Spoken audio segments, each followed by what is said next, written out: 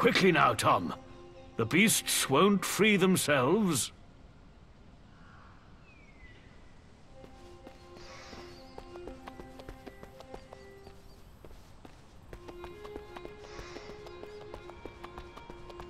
Terribly sorry about earlier. It was a complete accident, I assure you. No, no, I have nothing against robins. Some of my best friends are robins. This armor feels great. Excellent. Now, let's take a look at that sword and shield of yours. Let me see. We can do much better than that.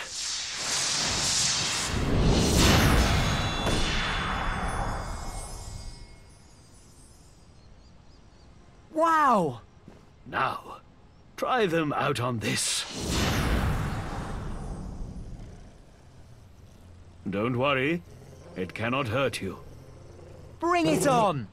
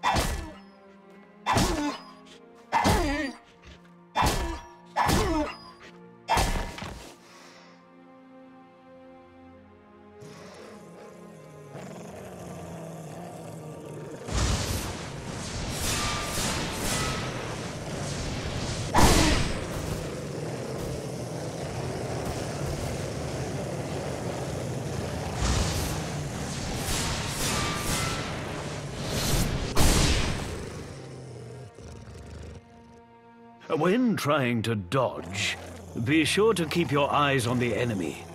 Watch closely, and you'll be able to see which direction you need to dodge. Two.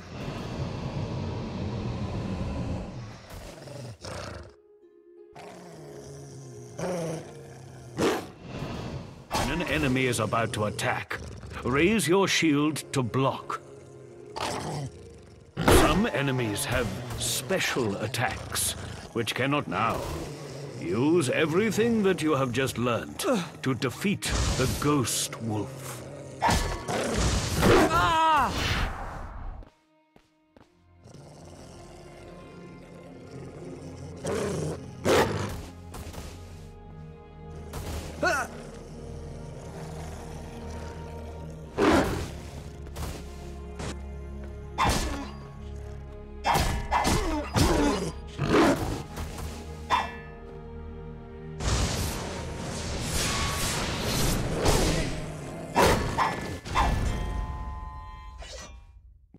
Done.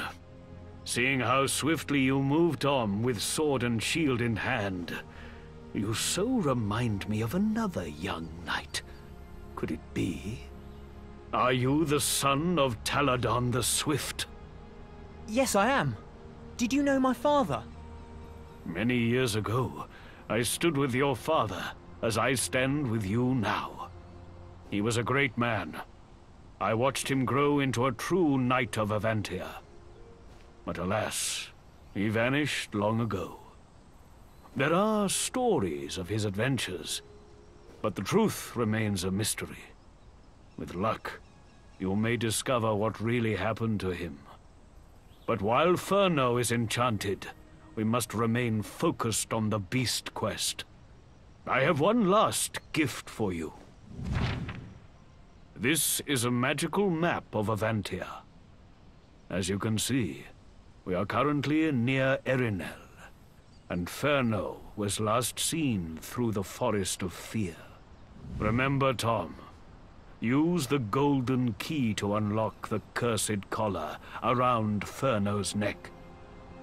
Once it has been removed, the spell will be broken, and the beast will be free. Fate has chosen you to save our kingdom. You are our only hope. I can do this. I won't let you down, Aduro. While there's blood in my veins, I will free the beasts and save Avantia. Good luck, Tom. And remember, keep the quest a secret to protect the beasts.